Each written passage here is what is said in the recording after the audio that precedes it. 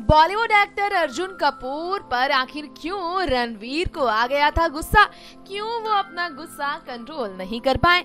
आप सोच रहे होंगे तो आपके लिए तस्वीर है, वो जवाब जो आपको हर सवाल का देगा जवाब। देखिए, दीपिका से चिपके अर्जुन कपूर, उनके साथ ये मस्ती भरा मोमेंट कर रहे थे शेयर तभी रणवीर सिंह कुछ ऐसा रिएक्शन दे बैठे, मानो उन्हें अपनी गर्लफ्रेंड दीपिका को किसी और के साथ देखना नहीं हो मंजूर। बता दें आपको, शादी के बाद रणवीर और दीपिका जो शादी के बाद कपल गोल शेयर कर रहे हैं, उन्हें साथ में देखना तो हर कोई पसंद कर रहा है और साथ ही साथ अर्जुन ने भी दी है खुशखबरी कि वो जल्द अपनी लाइफ में एक नई जीवन साथी के साथ आगे बढ़ेंगे। लेकिन इससे पहले उनकी शादी की एक्साइटमेंट जो लोगों के बीच सामने आई है, वो करती है इशारा कि कैसे वो एक दूसरे के साथ अपनी ज़िंदगी में आगे बढ़ने के लिए हमेशा रहते हैं। माहिर मतलब अर्जुन और दीपिका को साथ देखना शायद रणवीर को नहीं है पसंद।